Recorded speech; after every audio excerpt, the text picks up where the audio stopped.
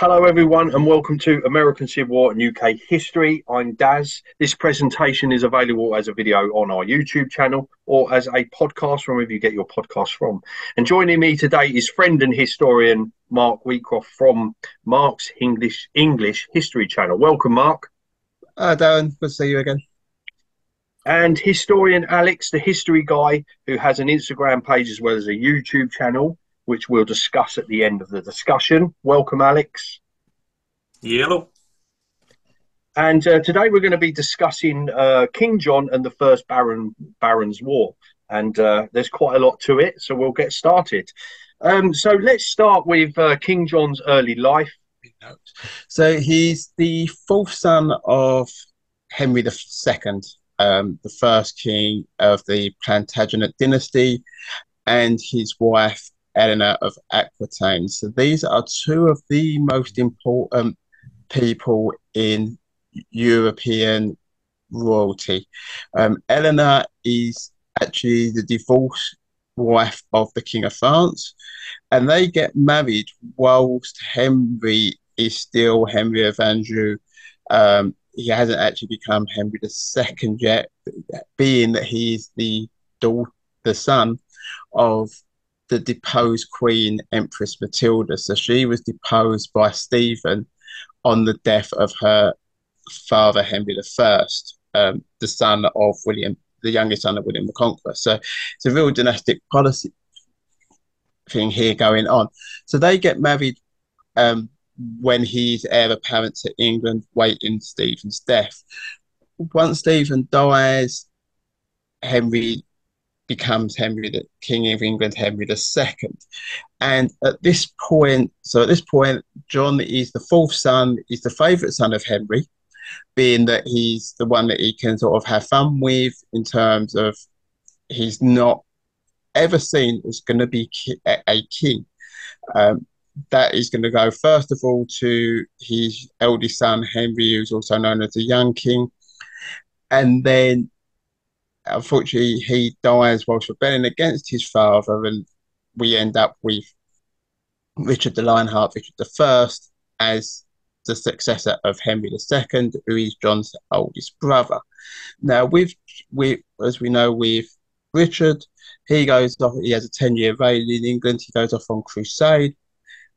Returning from the crusade, is is captured in Austria, which we then have to rent pay ransom for, which almost bankrupts the country in doing so. And in the in the intervening years that he's been on, he's captured. The King of France is taking back lands from the English slash Plantagenet em- Empire, the Plantagenet Empire, shall we call it. Um, this consists of not only lands in England, but in Normandy, in Anjou, in Maine, in um, Aquitaine as well. So pretty much stretching from Hadrian's Wall in the north all the way down to the Pyrenees. Okay, so John in his younger years was also known as John Lackland because he wasn't given any land. In fact, he's only really given one prominent piece of land to control, which was the castle at Chinon. Now, Chinon was one of the most major important strategic castles in this Plantagenet Empire, and it actually the gifting of the castle to John rather than to his oldest brother Henry is one of the reasons that his oldest brother rebels against his father. This rebellion is huge, um, so we're not going to touch on it today because we could actually just do a whole podcast on this rebellion alone. But it involves all the sons and the wife against Henry. So it's really quite a, big, major, big event. But unlike Richard, who was gifted Aquitaine by his mother to control at an early age and learned lordship, John, be having had this nickname Lackland, didn't have any feudal lands to control. So when he actually becomes king, he then Lucy, he, he hasn't got that experience behind him of controlling large pieces of land. So he's got the he then gets the largest of all the lands, and as a result, he doesn't really know what to do with it, uh, which leads to a lot of issues in both not only England but also in the lands in France that uh, that are still in control of the Plantagenet family by the time that John is king. Because when uh, Richard died, when Richard dies in France, and the name of the castle escapes me now, but he was besieging it to try and take it back when he was sh- shot by a crossbowman, and that is where um, that that's a brief overview of, of his early life. Okay, cool. And Alex, I know you want to talk a little bit about King Richard uh, the Lionheart. So tell us a little bit about him. Yeah, of course. Um, so again, possibly thanks to Disney, um, when you read about like just brief histories of him, they'll say who's this, you know, brave, courageous king, a really good warlord as well, who's a really good military leader. Um, yeah, fair enough. He was just a military leader. He was not a king. Um, he was a king in name, but not by right, really, because he didn't actually act as a king. Um, actively, he didn't care uh, about politics. He didn't even like England. He never spent any time here at all, um, just coming over whenever he politically had to, um, basically forced to by the people who were actually ruling the country and they needed his appearance. Um, other than that, he was perfectly happy living out his days in France and also going on crusades. That's the only thing he really cared about.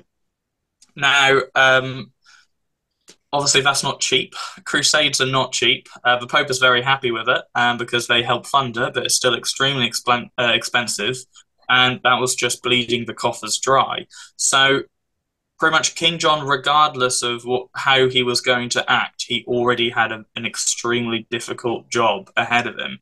I mean, it's kind of you know, again, I'm not a very political person nowadays, but obviously you see in British politics nowadays, no one really wanted to become you know the next prime minister because of the state where the previous politicians had left the country. So there was so much, so many issues for King John to clear up. Um, he was kind of doomed at the start. Now, um, as Mark alluded to as well, when he got uh, attacked by a crossbowman, this is also one of like the main points to take home uh, and remember with the reign of King uh, King Richard. So as the story goes, now again, stories going back this far, uh, you really got to look to who actually recorded these. This story is recorded by multiple people and apparently some eyewitnesses, but again, you really need to, you know, dig deep and kind of just use your own mind whether you can actually completely believe them or not. Um, but it said that there was so he was walking around the castle during the siege. He was checking out the sappers uh, who were currently in the process of building tunnels and mines uh, underneath the walls to bring them down. Now he was inspecting this with some of the um, of the military commanders, and then a crossbowman took a pop shot at him um, from the castle walls. He it missed, and reportedly he actually applauded the crossbowman for his attempt at his life and you know, saying saying the, the the British, well, I guess for him the French equivalent of jolly good shot. Um, it was then when he was acting this way, he was actually shot by another crossbowman, a boy, um, who yeah held a crossbow, shot down, actually shot him in the leg. Um, no, he was brought back to his uh, military tent in the camp, and that's where he was actually bedbound, and that became his deathbed. He got uh, got gangrene, uh, from his injuries. And the story goes one of two ways, and I'll let you believe which one you want to because it's really impossible to judge which one is actually correct. Um, story number one, which he liked to tell people, um, was that while on his deathbed, he asked for, because he was actually told that the siege had been completed, it was a success. Now, he was reportedly told this, and they also said, Oh, we've actually captured the boy who shot you. He's confessed to it. Now, he apparently said, Okay, bring him into a tent. It was when he was brought into the tent that he forgave him, wished him all the best in his life, and said he would have done the same, and then gave him a hundred shillings and then said, Be on your way. Um, that obviously portrays him in a very courageous light. Um, something that evidently a story may have been used when writing the story of Robin Hood when talking about King Richard. Um, there's an alternative story that came out at the same time, saying that he said all this and then apparently said, you know, spread the word, like, you know, a good news media coverage for me, one thing I do good before I die. Um, he then pulled one of his guards to the side and said, take that 100 shillings off that person and uh, murder him. And apparently that's what they did. As soon as he got out of the tent, he was brutally murdered by the guards, uh, by the king's guard. And then obviously the 100 uh, shillings was uh, taken back to the coffer again, as I say, believe that as much as you think that you do need to believe it. Uh, I'll let you believe whichever story you think would be more accurate. Um, because again, you know, you've always got to be wary of smear campaigns as well as campaigns, uh, you know, uh, news stories that make these people sound, you know, so righteous and kingly as I'm sure they would like to. Um, I personally would believe in the latter story simply because it's no um, it's no mystery of the atrocities that he committed during the crusade when he was on them. Um, you know, places like uh, Jaffa, for example, and uh, there's a few other places as well, which I can't remember right off the top of my head at the moment. Um, but he committed atrocities. Atrocities. He used to like beheading uh, citizens um, and uh, prisoners of war. Um, again, reportedly, there's, there's only too much that you can gain as truth from records that going dating back this far back because you usually don't know who wrote them. So it's you know it's always good to take it with a pinch of salt, really. But yes, I say when he died, uh, King John was just put in a terrible state where he looked at the coffers; they were bled dry. The Pope was hungry for more and more crusades, saying, "I'll, I'll help you support them if you do this for me." Um, the French at this time were continuing with the uh, crusade, so they're already in the Pope's good books. And King John was looking at his finances and thinking, "Okay, I have possible war in the north with Scotland. I have possible war um, uh, or a possible uprising in Ireland, um, I have the Prince of Gwynedd um, from Wales uh, apparently trying to um, commit an uprising as well. And I've still got the war that I'm now taking over from the French states as well. Not to mention, the Pope is rather unhappy with me at this current moment in time because I can't commit to another crusade, which is still ongoing. So yeah, uh, safe to say he was given quite a bad, bad hand straight away. However, it is also good to note as well because I don't want to be, I don't want to be seen as one of those people who says that you know King John couldn't do anything wrong. Um, he had had issues in the past, and actually, when um, the king died on the sixth of April, eleven ninety nine, um, that wasn't King John's first attempt at taking the throne. Um, while I can't remember the date of that, unfortunately, which is a shame. But uh, while Richard was in the Holy Land while on crusade, um, King John actually tried to usurp the throne from him, actually trying to get some of uh, the support from France. And he actually got the king's support at the time, the King of France support. However, this support wasn't strong enough, and he uh, his uh, attempt at usurping the throne was unfortunately um, it didn't work out.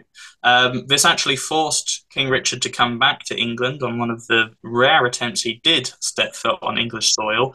And even though he had already been, uh, so King John had already been banished from England for his actions by the people who were currently controlling the throne in England while um, King Richard was away. When King Richard came back, he actually uh, unbanished him and said, You can come back to England, and apparently thanked him. Uh, he was quite impressed with uh, his ambition to take the, the throne, because let's face it, he didn't want it anyway. He was possibly looking for an excuse to no longer be the King of England because he just was not interested in it at all. Um, so actually, with this, this was the time when he was officially made the, uh, the the heir to the throne when King Richard died. He put that all in place in writing when he came back to England. Uh, and then, so of course, in 1199, when he did die, that's when King John uh, became king. Okay, cool. And there uh, was. Sorry, Mark. also, there is actually another person involved in this, and this is his nephew, the son of his elder, the, the elder brother, but it's the one between Richard and so it's the third brother, um, uh, Geoffrey. Um, his name was Arthur Arthur Brittany. And Arthur, yes. Yeah. So there is a suggestion that at the last minute that Richard may have changed his mind and put Arthur as heir. Um, but what happened as, at, at, the time of Richard's death is that there's this midnight ride by William Marshall, who is someone we're going to hear a lot of. He's probably the ultimate power behind the Plantagenets. If you look at all of the history of the uh, of the Plantagenet kings, if we of Henry II, Richard I, um, John, and then uh, Henry III, uh, who come uh, John's son, who will come after him. He's the one who holds them up. While, whilst they've got his support, they are fine. And he makes this midnight ride to Rouen um, on, the note when when Richard's death to discuss with the Archbishop of Canterbury, who is in position at Rouen at the time, who actually should we back to be king? Because obviously with Marshall's power, whoever he backs is kind of going to be, be king. And they decide to, they go with John because Prince Arthur is just too young. So it's a bit like when we when we looked at the Hastings video about um, Edgar Atheling, where he's just he's too young. He's not going to have the control. It needs the, the adult hand. Um, but event, but he's always in the background for uh, for an early part until um, he basically John, which we'll probably come on to in a moment, a bit more in detail. But John manages to secure secure the kingdom for, for a little bit, and it, one of his first major tests is that Arthur, with the support of Philip II of France, rebels and attempts to and actually captures John's mother Eleanor and he, his own grandmother. Um, John defeats this rebellion, captures Arthur, puts him in prison for quite some time. But whilst he's still in prison, he's still able to pull strings, gain support um, as being in prison. So there's this attempted botched mutilation of him, um, which was to see him blinded and castrated whilst he's in prison in Falaise Castle, birthplace of William the Conqueror. Uh, the commander of the castle doesn't go through with it. He doesn't think it's right. Um, so he's then brought to Rouen Castle, where John is in residence, and according to the sources, again, like I said, we always have to touch these with a pinch of salt. John one night gets drunk and goes and brutally murders him, and then throws him in the river, in the Seine with a with a rock tied to him. So it just goes to show that John could act ruthless. Like he has got that Plantagenet ruthless streak running through him. He he's a tyrant, but some of these stories, after they come later to back up the tyrancy ideas about him, it's always a little. When we're looking at stuff so long ago, it's always a bit hard to work out. But certainly, even if it, it even if it was tyrancy in that sense, we've seen it time and time again, and most of these kings get the get get the name of tyrant added to them because of it. But when there's a when there's a challenger to the throne, and it's a young challenger, there's a simple way of dealing. And you see John do it with Arthur. You see Richard do it with Princes in the Tower. They, they, they just they have to die because to, to maintain your grip on power, you can't have a challenger. And so that's going to happen time and time again throughout the medieval period. It's, it's a different period that this stuff happens. Mm-hmm. Thanks. Um, okay, let's talk a little bit about John's reign. So um, there's some important things going on, like uh, Alex said about uh, he's taken on a lot of stuff uh, that has uh, come from uh, Richard's reign. But um, talk a little bit about uh, one of the main reasons, obviously, is the lost territory in France. So talk about that, please, Alex. Yeah, of course, of course. Um, so again, this is one of the things where it seems that in almost every scenario and situation that happened in King John's reign and his life in general, he was dealt a bad hand, but in some cases he unfortunately did also make it worse himself.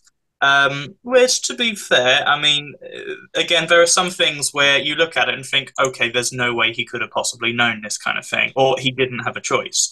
Um, as Mark alluded to, uh, you know, the, the, allegedly killing of Prince Arthur. Um, now, Prince Arthur was actually, so yes, he was a possible contender to the throne. He was a threat to the crown um, as far as John was concerned. Um, however, again, he may have known this, he may have not. He may have just acted in kind of cold blood or, you know, hot headedness and just didn't think about all the possibilities. Obviously, you know, playing the Game of Thrones is like playing chess. Um, you can't really think of how one move now is going to affect you in an hour's, you know, an hour's time or in their time, a generation's time down the line. Um, Prince Arthur did actually have a lot of friends in high places in France uh, in the various states and city states of France. So obviously, once news came about that uh, Prince Arthur had been either just died or been killed, um, this unfortunately um, worsened uh, his um, uh, his relationship with the fr- French states even more. So again, they're already um, under threat because of the ongoing war and the lack of money to back it up. Um, but then, of course, yes, he did make it worse by making incorrect decisions. Um, it was also to be said as well that, unlike John, King Richard was basically French. Um, at this time, France was not a country like you think it is today. As you can see from the map, it was all split up in different uh, reigns and uh, territories. Now, because um, King Richard was pretty much French at this time, it was much easier for uh, different French barons to align with him and to agree trade rights with him, and you know to agree with uh, uh, sitting on his side, so to speak. King John was very different. Uh, he spent most of his time in England instead, in the large banquet halls and um, parading around the various royal castles that he now had access to with his elevated status as the um, successor to the throne. Um, he was not seen as French. He was not seen as any, uh, much to do with France at all. Sure, he did still have the title of um, you know owning the kingdom of Normandy, but at this point, obviously, everything was much more separated than it is in nowadays France. Um, so yeah, he really didn't have too much of a choice right from the get-go um, because of, uh, say, his uh, political status and his political kind of rapport um, clout, I guess you could say, as opposed to Richard. It just was not comparable. Um, and also, as well, obviously, things got more difficult. Um, considering that when Richard died, they were fairly like, on the fence of whether they were going to be the barons, the French barons were going to join officially the French side or help the English crown. When Richard died, they kind of said, okay, well, we're not going to align with John, so the only other option is the French crown. So they aligned with the French. So the French forces got stronger, and obviously the English forces got weaker uh, due to this as well. Um, it also didn't help again with the Pope uh, doing various smear campaigns on uh, King John, thanks to French barons who were more than happy to spread the bad news and you know give him bad names and as uh, you know different um, titles and nicknames, so to speak. But obviously that's his relationship with the Pope. Uh, so that's a slightly different subject, which I'm sure we'll, we'll get onto. Okay, cool. And uh, so, Mark, um, I'm going to come to you for this. Um, so, the relationship between uh, the church and, and the barons starts be- to become bad. Um, firstly, um, tell us about the uh, why King John and the church's relationship becomes so poisonous and so bad. It becomes so bad because at this point we do. There's a change in the Archbishop of Canterbury dies. Um, and it's beholden upon the king to appoint a new Archbishop of Canterbury. Now, bearing in mind that at this point, an Archbishop of Canterbury is probably more, it's less, I won't say it's less religiously important as it is today, but it has a lot more secular power than the current Archbishop has. Um, so, so also today's Archbishop is purely the head of the Church of England. Um, obviously, back then it was pre-Reformation, so he was still beholden to the Pope, um, but he was Pope, the Pope's representative in England, um, and we, but also the Archbishop of Canterbury is not quite an early prime minister, but in that kind of ilk, shall we say. And obviously, his father had a very tumultuous relationship with one of his archbishops of Canterbury, who um, the cathedral at Canterbury is be the, the current one is built pretty much in his honour um, in Becket. So you you do have this role as a senior civil servant as well as being the Pope's representative in England. So it becomes the appointment of an archbishop, uh, uh, an archbishop of Canterbury at this time is very, very important. And of course, it becomes a bit of a two way power struggle because John wants his man to be archbishop, and the Pope would prefer a different candidate. And so they have a major falling out. John appoints his man anyway. And as a result, the country of England, or John and then England as a result, is excommunicated by the Pope. And this is a major issue in the medieval world. That, that every single village revolves around its church. Um, we think about times in history about the village revolving around the tavern. At this point, it's the church, then it's the tavern. And so for it to be shut and locked up and you cannot go like the whole country is cut off from the church is a major thing. That, that it it must have been to them what 2020 was to us in terms of everything everything you know has stopped. So it is a it is a major major problem for john. And so when he then starts to reconcile with the Pope, he actually then he he has he makes John swear an allegiance to him. So it then becomes that John and England, as a result, becomes a vassal state of the papacy. And this is going to lead to all kinds of problems going forward for for John because whatever he wants to do, he has to ask the Pope's permission. Mm-hmm. Alex, do you want to add anything about the church and, and King John's relationship? Yeah, so um, uh, as a little hobby of mine, I do actually look into uh, religious studies throughout history. Um, and again, it's one of those things where the more you read, the more re- you realize actually medieval people weren't that religious. Um, they were in namesake, but they weren't in reality. Um, for example, as again Mark Mark said about uh, being excommunicated and uh, the churches were ordered to be closed down. Um, they weren't actually closed down. England pretty much just ignored the Pope, as they did multiple multiple times throughout history. Um, so they would they would maybe um, you know they would lock down and close some of the major cathedrals during the bishops uh, various bishops uh, around Europe uh, visits. Um, but again, local churches were pretty much gathering points. They're pretty much like your Sunday market. Uh, people relied on them, and they said even if you know we're not going to close down their uh, um, their best way of communication and sharing news on a Sunday because that'll put them into the well, dark ages, um, to use a you know, to lack of a better word. Um, so, and again, for example, you can see this because I'm from Norwich. Now, uh, Norwich can hold its head up high and say that it's the only city uh, in the world to be officially excommunicated. Usually, it's one or two people, a little bit of an area, a, church maybe, um, an entire city being excommunicated is not something that should be taken lightly.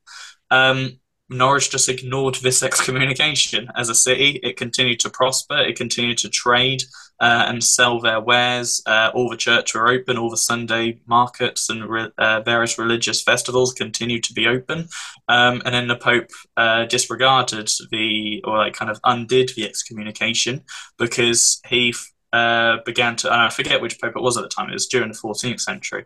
Um, but um, he, they basically said, uh, well, they were evidently thinking, um, okay, well, I don't want to be taken a fool here and say something and have some uh, a group of people in a faraway country just blatantly ignore me. So he undid the excommunication for that reason, um, or possibly for that reason, because I thought, you know, I don't want to be singing, I don't want to be taking a fool here, I don't want to be saying something and not being taken into consideration. Um, it was the same kind of thing as, as you mentioned, with this uh, Stephen Langton, who was um, pushed forward as uh, by the Pope to be the next Archbishop, uh, Archbishop of Canterbury.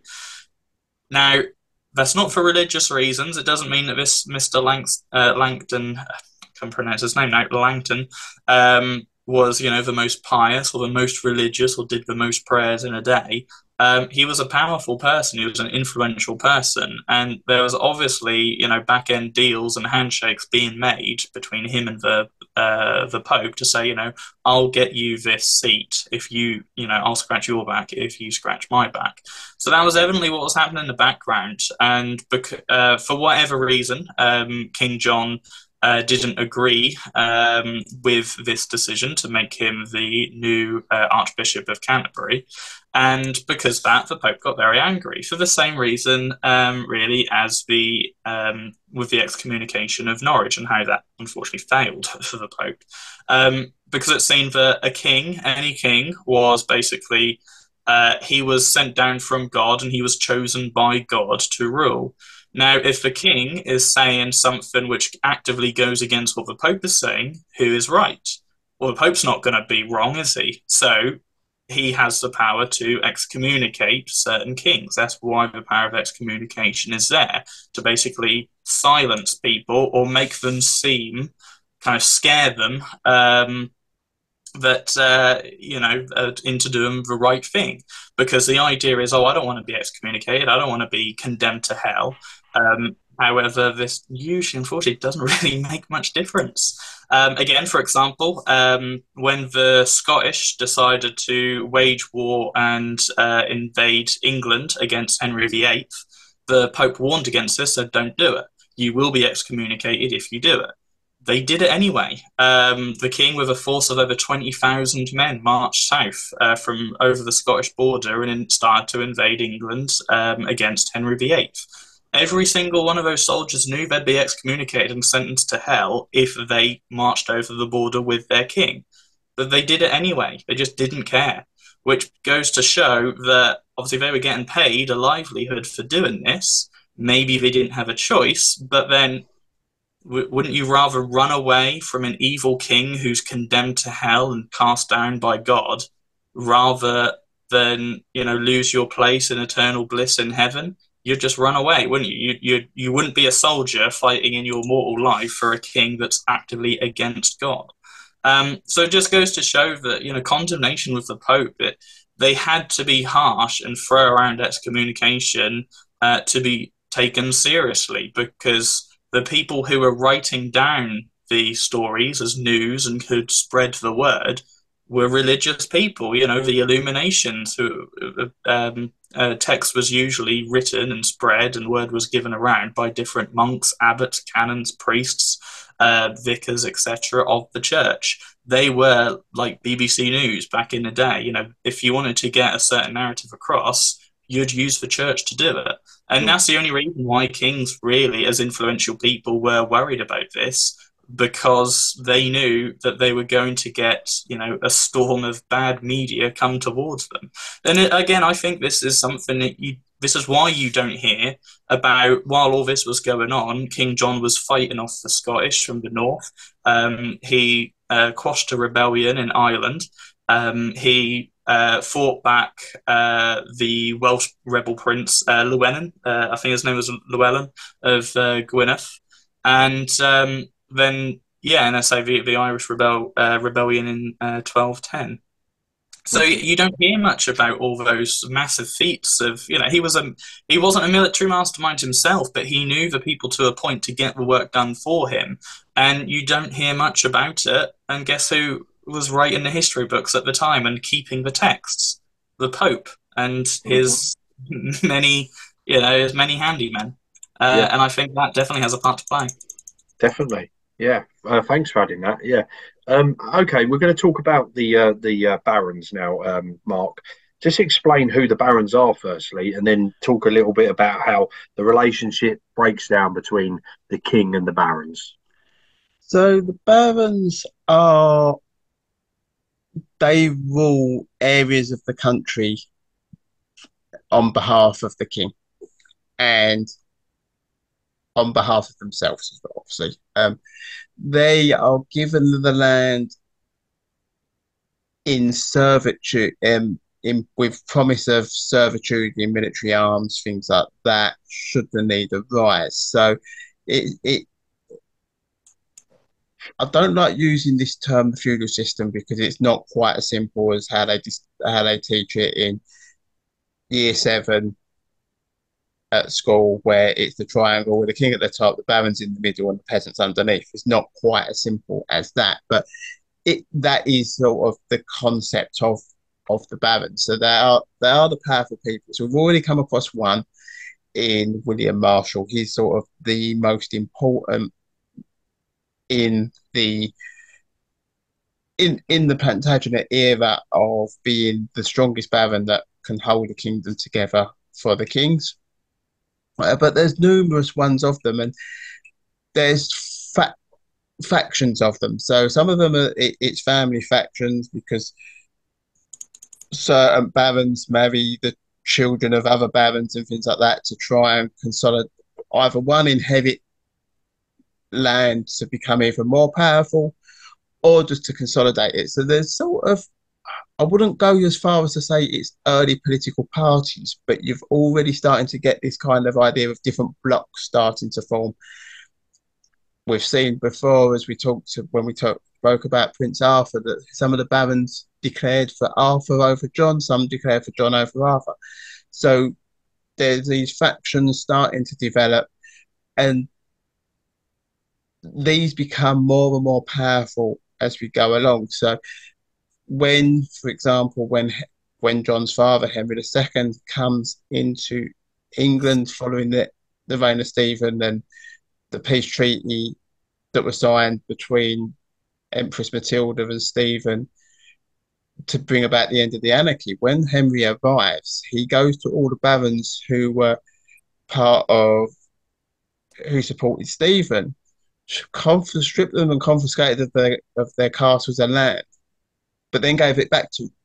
And the reason why he did that was that he knew that these men were strong and powerful. If he confiscated their lands, he'd have that they're grouped together and they're causing problems. What he's doing is he's going, okay, I'll take your lands, I'll give them back to you, but you're only getting them back because I want to give them back to you. And so that was the makeup of the Plantagenet baronhood underneath underneath the king, and so so um, as this um, as this starts to play out in terms of by the time we get to King John's reign, we've already seen he's attempted to usurp Richard whilst he was on crusade. Well, we would have had certain barons on his side then. Then he's had the issue with the inheritance of the throne in respect to Arthur, and he's had Baron supporting him, he had Baron supporting Arthur. So already there's this fractious line from early on in his reign, even before that, of barons that are against John. So they're not all on his side straight. They're not all on his side. And gradually, as the events that start unfolding, more and more barons that were in support of John, they've got somewhere to go. They've got so, uh, uh, there's this other side that you can go to. It's not like a king with. Just trying to think of one. Say, for example, William the First, the Conqueror. When he comes over, once once the conquest is complete, all of those, what he does, is gives a lot of land to the knights that are actually quite low level barons in the nor- in Normandy. Yes, the likes of Odo um, and Robert of Mortain get large tracts of land, but some of the others they come out of nowhere And the reason why he does that is because he doesn't want to make any of the, ba- the, the real big Norman barons that much more powerful, but he can control it if he creates new English barons. And so he's able then, he's got almost universal support within this Norman baronhood. Whereas with John, there's already this split of barons that are against him and the barons that are for him. And gradually, as as events unfold, the split starts to move across, and as as more barons become disillusioned with his kingship, they start stepping across to the other side of this line, which is will eventually result in the major aspects of what is remembered of John's reign. So, Mark, tell us about this uh, meeting, um, uh, the meeting of the council between King John to hear their grievances. Yeah, so we'll, we'll, we'll actually step back a little bit further. Um, in that by this point, there is an open civil war in the baronhood um, of the barons that are supporting John and against John. So it's actually broken out. London itself is captured by the rebel barons. And so you've got this London. We kind of forget just how powerful medieval London was, not so much in terms of political power or economic power, but of military power. You know, the wall, the walled city was intact. You know, you have the two massive castles. You've got the tower in the east, and you've got Barnard's Castle in the in the and the west of the city, um, around Blackfriars Bridge, that area. That's where it was. So you've got these two on on on the edge of the city. You've got these two massive castles. The rest of it is is, is heavily fortified. Um, so once the barons of rebel barons take control of that, John doesn't have much where to go. So he, he decamps then to to Windsor, one of the three massive castles on the Thames, with Tower, Windsor, and Wallingford being the other, the third. And there he negotiates this meeting of the barons, the council of the barons, and they come together to, in effect, sign a peace treaty. Okay, so and for a number of things, it's to go back to the Charter of Liberties of Henry I. It's to rectify uh, ratify the ancient rights of the City of London. There's not many major new things within this. You know, it, it's just saying, but we recognize this document, we recognize this document, we recognize this document. The biggest one of the treaties uh, or, or biggest aspect is that it's announced that 25, there will be a 25 member Baron Council that can look at whether or not these the things that are listed within this peace treaty are being met. And that's sort of the overriding concept of it. Um, because the rest of it is all just sort of ratifications and the king admit John admitting that he, he will recognise prior charters going. And this is then signed and signed and stamped by the king at Runnymede. Um, which is where it's known that this is the birthplace of English democracy and things like that. But actually, the Magna Carta, as it will become known, it was never set out to be this founding document of English democracy. It was never. It wasn't our constitution like the American Constitution would become. It it it, it it's actually a very simple document. It, it's a peace treaty. It's a simple peace treaty to end a, a, to end an uprising, but as we will further go on and see, and then later on, the next two centuries, it it's a it, it becomes the bedrock of the constitution, and everything else from there is set in stone from that point onwards. Each, each next document we have that builds up to the English Constitution comes from that one document. Mm-hmm. And uh, again, the barons get support from uh, the Pope, don't they? Uh, uh, just before the Magna Carta. So, just tell us a little bit about why the Pope decides to back the barons over the king. Does that go to the the uh, you know the history between the Pope and the king? Yeah, I'm not hundred percent sure on this, um, but again, the Pope, in in terms of the reconciliation that happened between John and the Pope, one of the main things was to become John pledged homage to the Pope and became his vessel. So I think it's just one of those things that the Pope sides with the barons because he and urges John to reconcile with the barons and for for his own personal interest. I don't think that there's any sort of major sort of idea of oh we, we should make all of more of a democracy in Europe or anything like that. I think it's purely self interest. He knows that the tide is turning against John, and as he does something, John will be ousted and someone else will become king. So I think the Pope's intervention is purely for, for, for the Pope's, yeah. Pope's self interest because he's sort of pledged homage, he's vassal in England, he's got power over him. If the status quo is changed because the barons imprison Richard, kill him, which is probably the most likely outcome. Richard, John, um, kill him, which would be the most likeliest outcome. Then we know that the Pope will lose that power. So my guess would be that the only reason the Pope gets involved is for, for pure self interest in this. Yeah.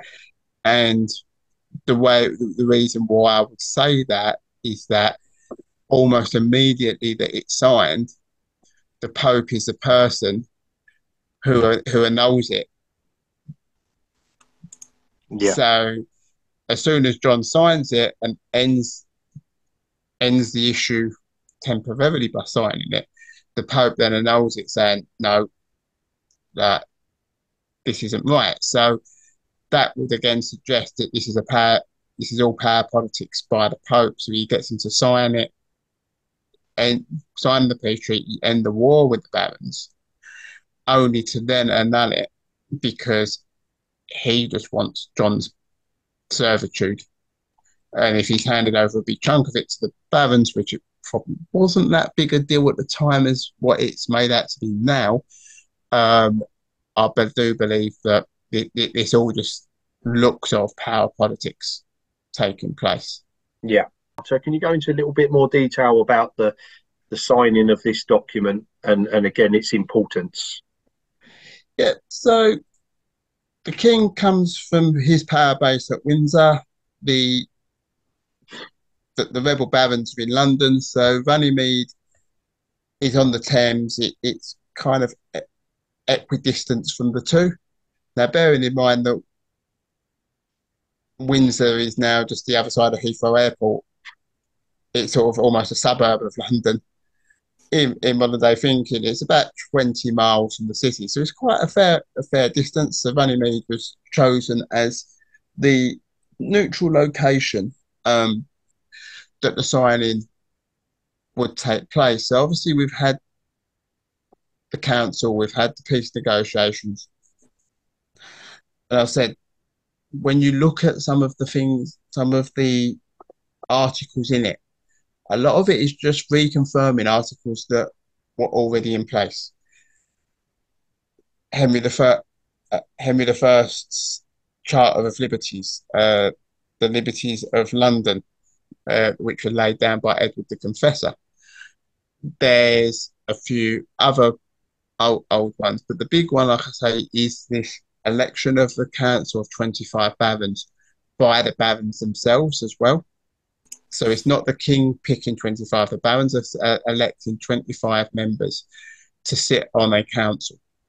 Um, one to advise the king, but also to hold him to a, also to hold it to account. And that is what most people in history deem to be the first parliament. You know, there are things similar earlier on. So if we go back to 1086 with the Council of Salisbury, which is where the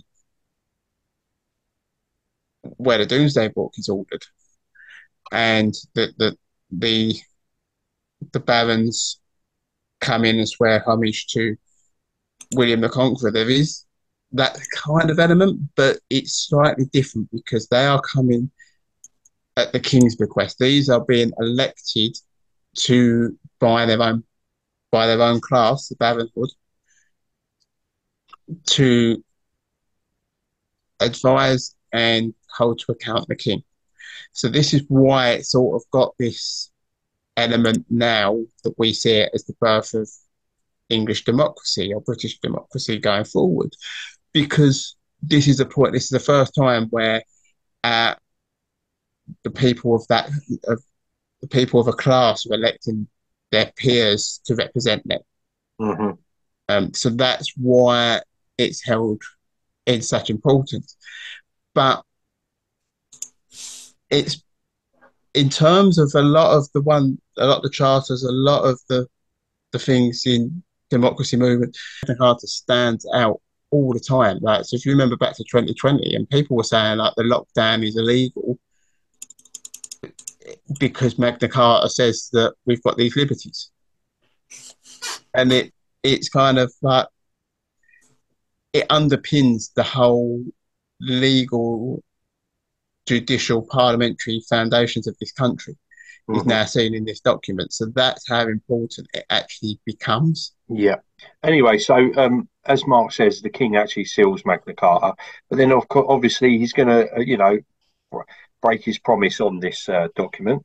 Um, and then King John goes on an eight week campaign, which will lead him to a siege at Rochester Castle. Alex, I'll bring you in to talk, talk about this, please, mate, if you want. more. So, for this one, again, we actually have to go back a little bit. So, um, we've got to understand why the barons, after the unfortunate failure of the Magna Carta, despite all intentions, um, why the barons suddenly felt so uh, confident in themselves as to why they could basically commit treachery against the king and rise up in rebellion against the king. I mean, Britain may be a small island compared to some, but it's still a very large area. It's a very um, politically diverse and intense area.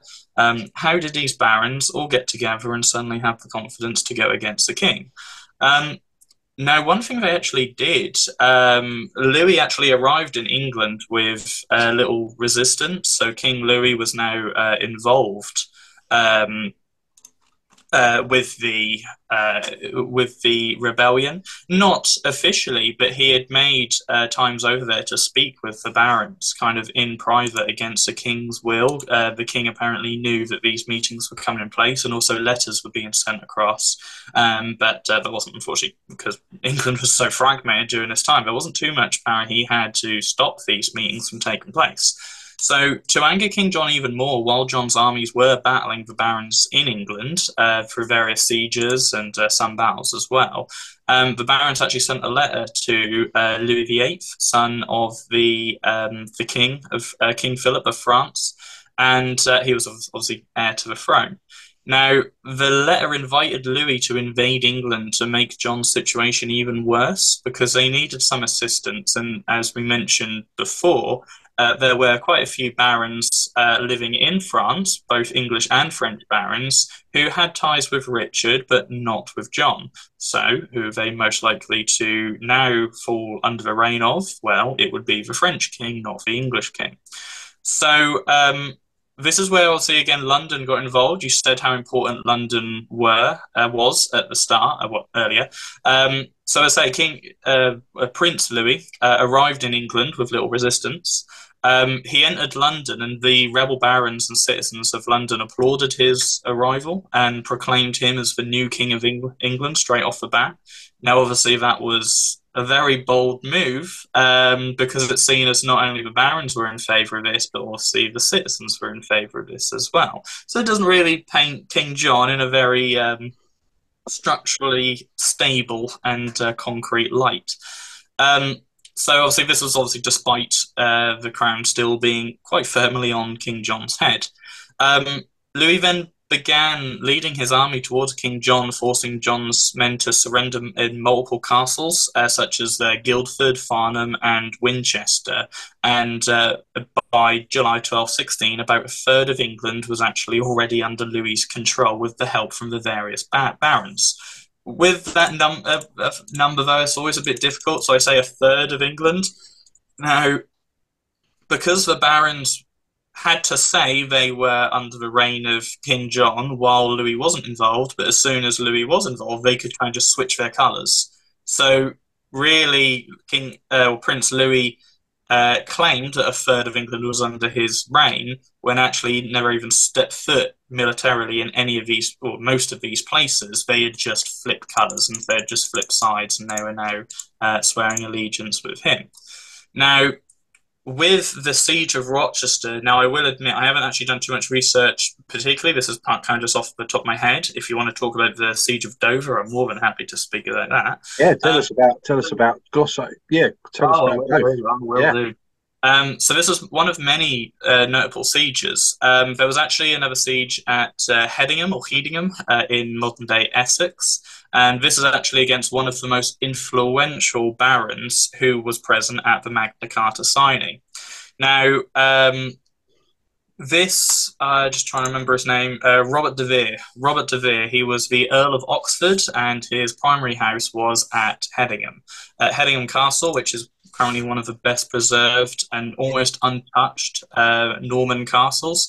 It is very similar. Obviously, you see the picture there of Rochester Castle. Um, it is very similar to that. It's just a bit smaller, but it's still just it, it's an incredible setting. Basically, you're in the middle of the woods, a private estate, and you just got this giant castle that stands. Now, at Hedingham Castle, um, King John laid siege to uh, the castle. Technically, at this point, it was French held, um, with again the help of the barons. Um, no, sorry, actually, no. He was currently besieging Colchester Castle, which was French held, and he had to turn his attention to Hedingham because he basically he, he thought he had an opportunity to capture one of the more most influential re, uh, rebel barons uh, in England at this time, who was Robert de Vere. Now, when that happened, it's during a siege where there's a legend that goes about the defenders of the castle throwing fish at the attackers um, from the battlements to show that they had plenty of food. They didn't care how long uh, King John was going to besiege them for. King John's wasting his time. They can hold out.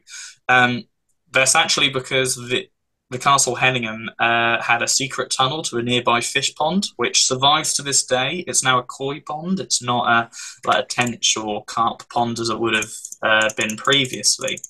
But um, so this is like a little legend of, and some people say when it's like. Uh, again, there's multiple ways of this, but there's one uh, little kind of uh, British myth that goes around about like the day it rained fish, and this is one of the original possible uh, origins of the story, basically.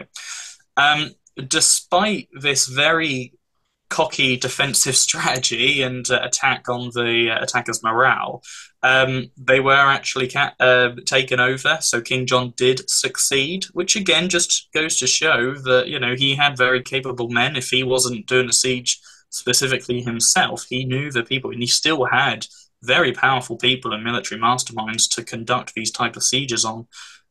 I mean, at the time, uh, Hedingham was a very, very large castle and uh, ridiculously defensive, just like Rochester.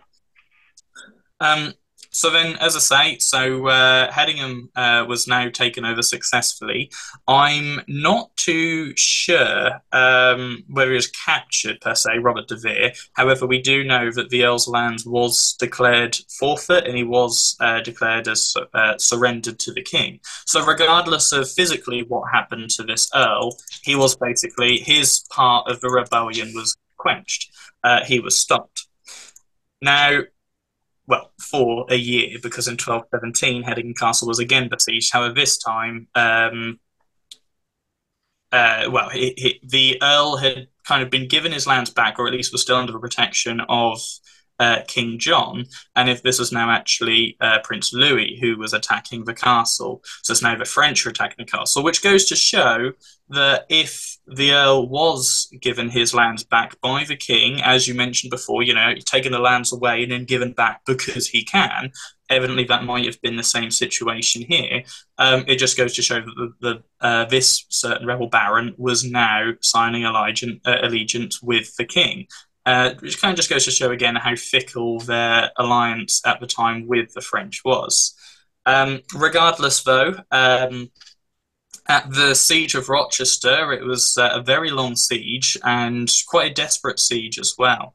So they couldn't breach the keep. They breached the bailey, um, the outer bailey with the walls, and they the King John's army was pretty much saddled up in the outer bailey of the castle, besieging, making sure that there was no uh, boats that could come in from the sally port uh, and into the keep.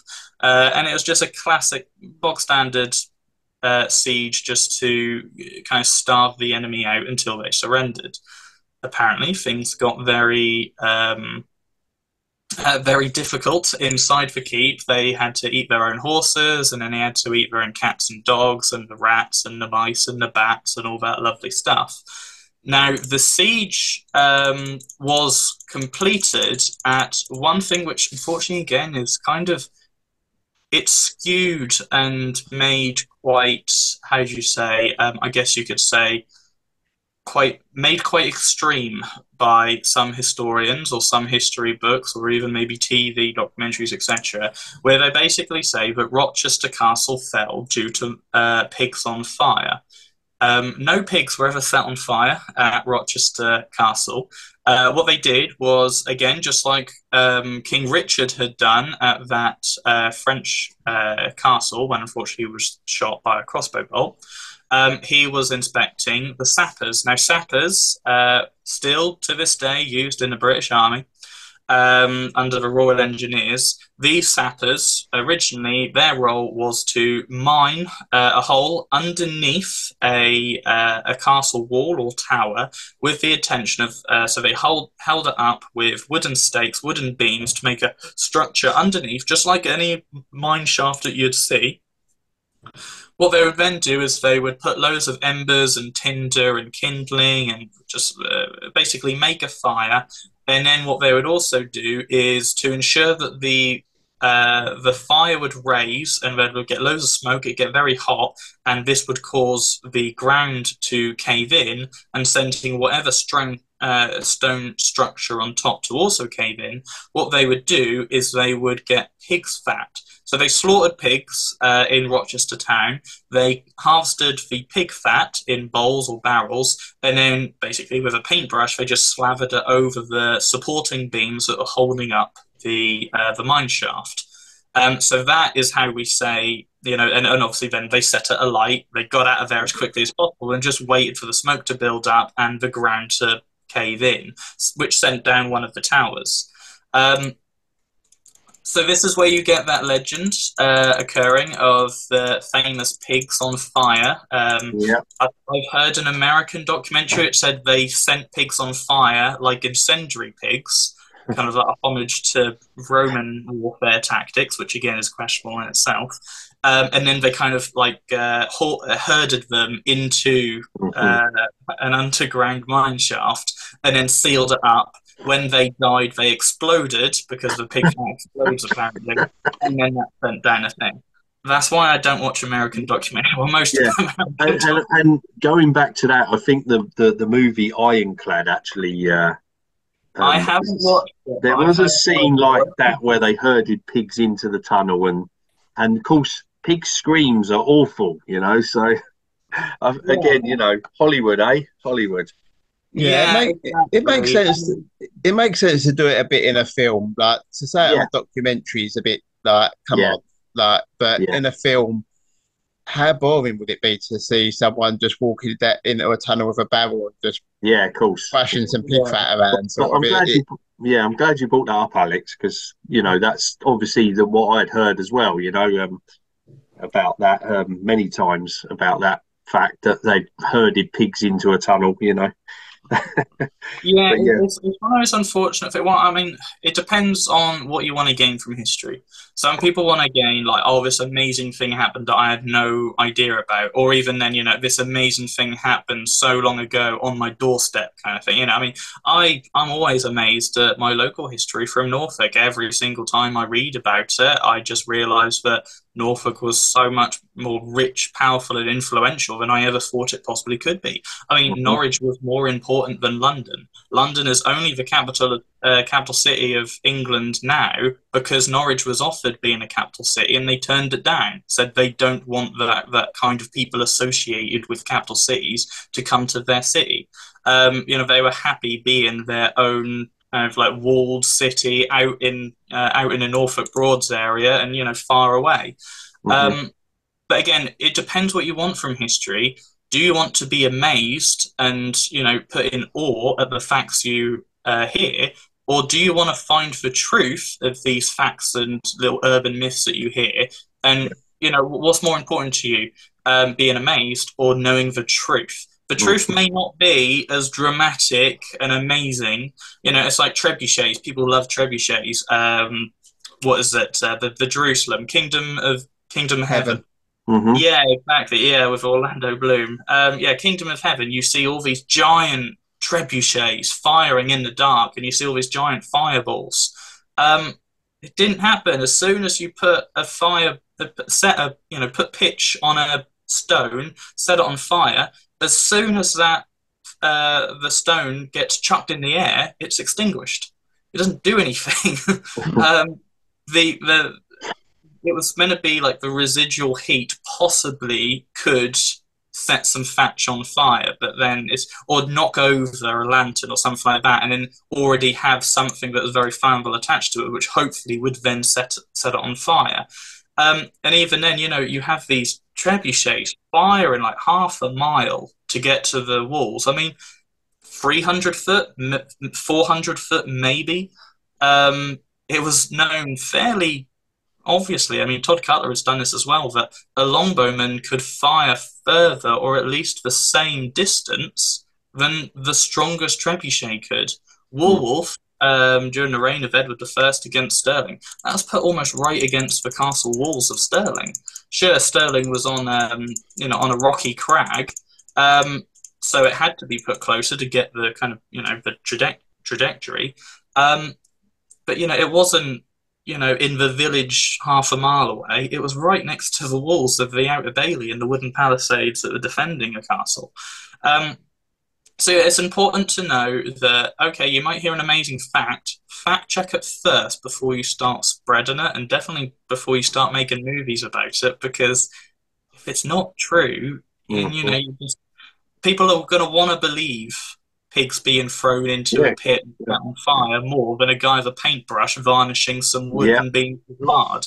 Yeah, what's more dramatic? But yeah yeah, you. I'd, I'd rather know the truth than whatever is more dramatic. To be, yeah. to be honest, yeah, because I that's more interesting to me. Sorry, I get flabbergasted more by the truth than some random thing someone just made up, which were based on truth. Mm-hmm.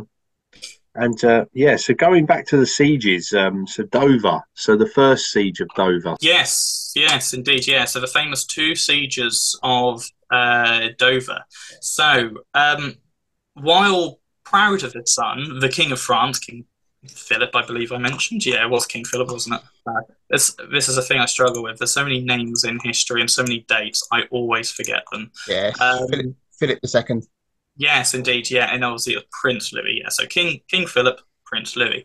Um, so yes, so like, while proud of his son, the King of France, King Philip, told Louis that he had made a mistake. Um, so he was sitting there in France, overlooking because basically uh, Prince Louis had to prove himself, prove that he was worthy of the throne. Um, so this is why he decided to embark on this military campaign when there other, were other military advisors and well-seasoned military commanders who were more than happy to take it up.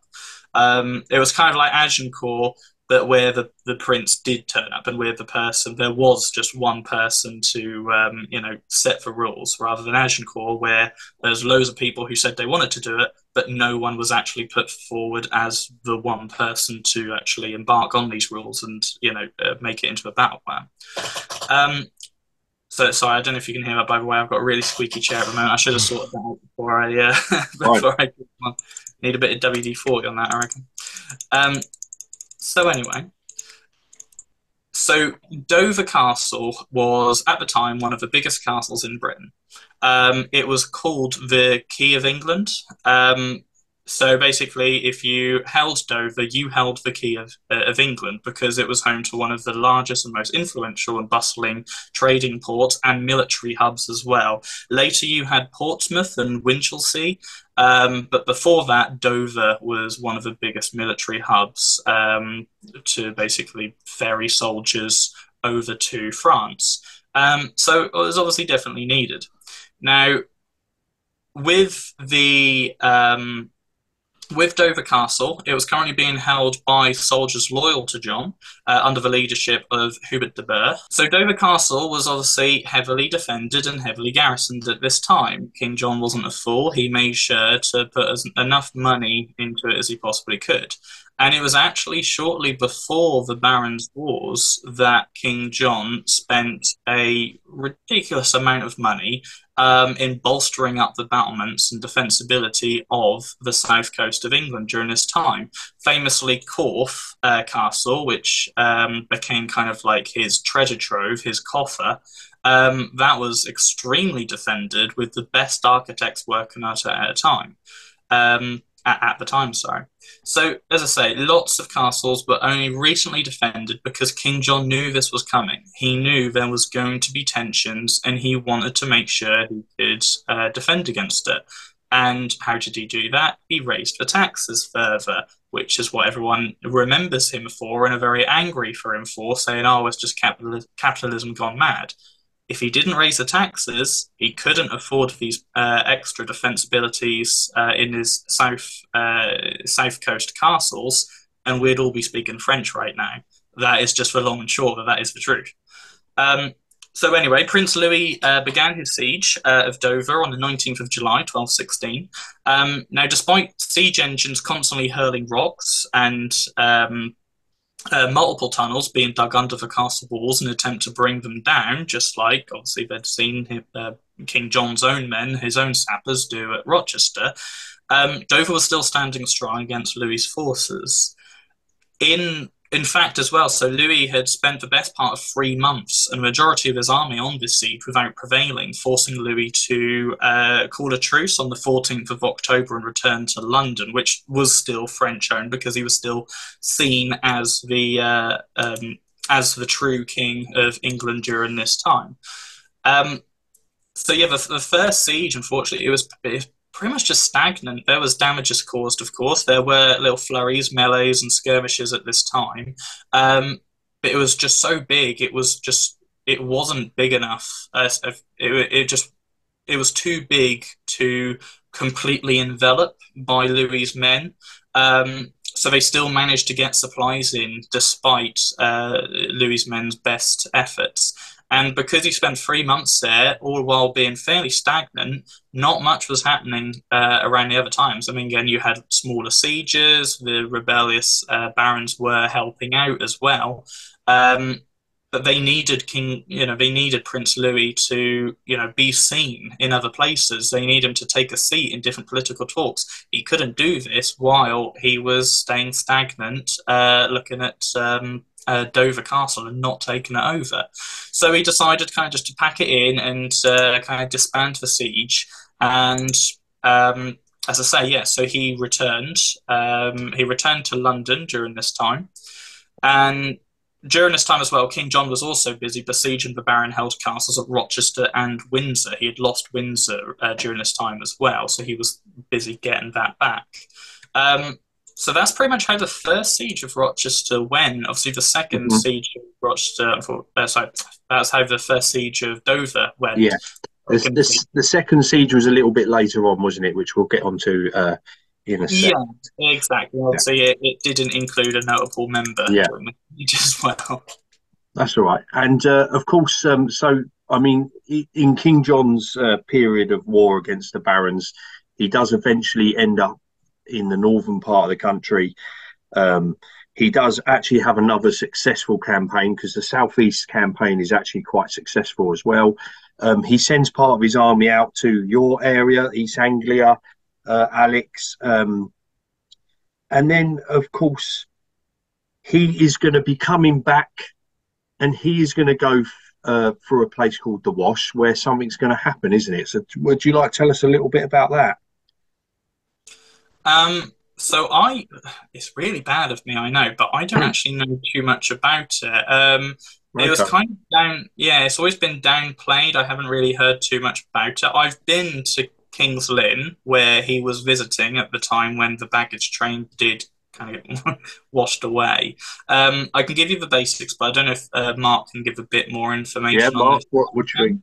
Yeah, so he's already on campaign at this point, and he's actually called, contracted the dysentery that he's going to die from um, a short while later um, by this point. But yeah, he's again, a lot of this is wrapped up in myth and legend. So how how exactly did it play out? My gut feeling is that hopefully Alex can might be able to shed a bit more light on this, but I think the wash is quite tidal. Uh, yes, um, yeah. So, so, it's basically a mud flat. Um, so it's not a beach. Um, the Wash is an area which used to be fenland. Um, so actually, we talk about a lot of coastal erosion and global warming, etc., which obviously is very true and it's very, very apparent. Um, Britain actually used to look a lot differently. We've actually reclaimed a lot of land in the northern part of East Anglia, around like Cambridgeshire way. You've got the Cambridgeshire Fens near Peterborough, connecting to uh, Lincoln and Skegness. Um, and then in the area around um, uh, Kings Lynn, Hunstanton, Heacham area on the north. It's kind of the north north western um, area of Norfolk. It used to be kind of fenland, where it's like classic kind of broads looking where you've got a lot, it's waterlogged pretty much, and you've got all these causeways and um, reeds and mangrove areas. Uh, but a lot of it nowadays is just mud, basically. With all those are just decomposed, it's turned into just mud. And it's just it's like quicksand really. It's a, it's very stodgy mud. It very easy to get bogged down in. It's not considered safe by any means. It is just it's dangerous. And it was at the point of in the medieval times around the 12th century and 13th century it was then turning from fenland to just bogland pretty much just a mm. muddy mess. And so, it's, so it's even possible that when you say about this part that happens in the wash with it could have been Fen. It's probably more Fenland than sort of how we would imagine. You say he lost, he loses it in the wash. We're thinking that big bay yeah, area, I, so. there was definitely a lot more uh, Fenland with raised areas. So during the uh, the Bronze Age period, they had actually built a lot of earth embankments uh, as causeways, where the area was basically waterlogged. Think of everything underwater, and then you would have certain fields which were just above um, the water level, and the Bronze Age people were taken like either cattle, oxen, or um, most, most importantly sheep, uh, from one paddock to another, they built these raised earth causeways, or some even made of, uh, they're basically wooden bridges, which went on for hundreds of yards and sometimes even had houses on top of them. Um, what you're seeing there is what the medieval people using were the remnants of these causeways and these earth banks that were built to take farm animals and livestock from one area in the Fenland to another. Um, so yeah, I assume at least that's what they were using during this time. Yeah, uh, they obviously just that they they they're cutting across it, probably heading up toward Lincoln, being sort of a major medieval position, which obviously we're going to come on to a, right at the end.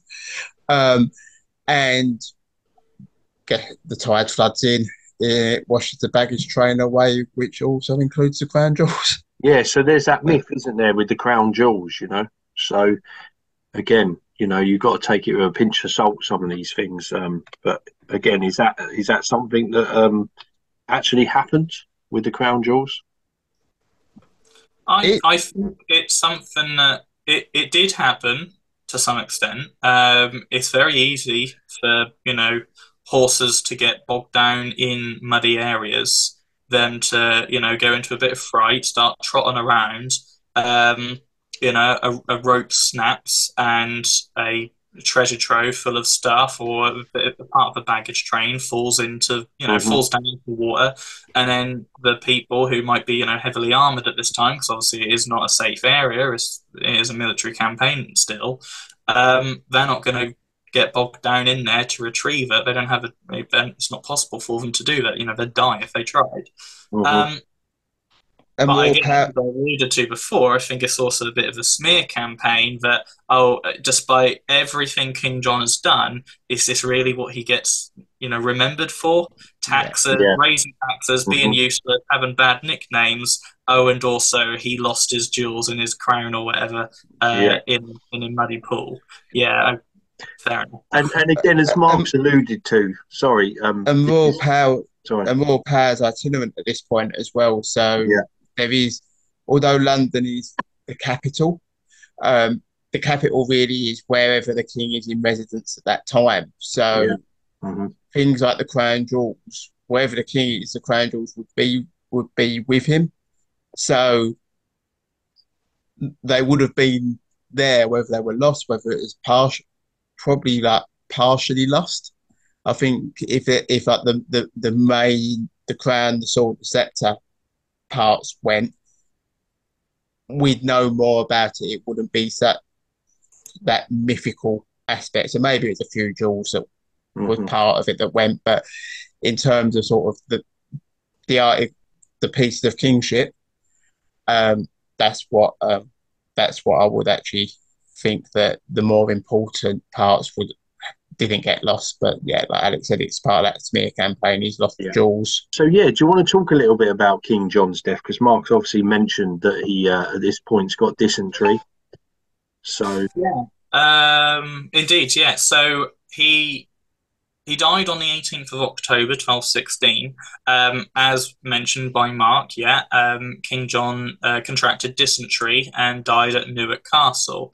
Um, where where he contracted dysentery is hard to say, but basically anywhere where you've got a lot of people laying stagnant with limited access to cleanliness, uh, cleanliness and clean water, aka pretty much any siege you could mention on both sides, uh, both the defenders and the attackers. Regardless of who you are, dysentery is very easy to contract. It was most likely one of his servants bringing him the food that actually had dysentery, and he contacted it through the air from him, um, or of course through some tainted water he was given, perhaps. Uh, obviously, it's impossible to know.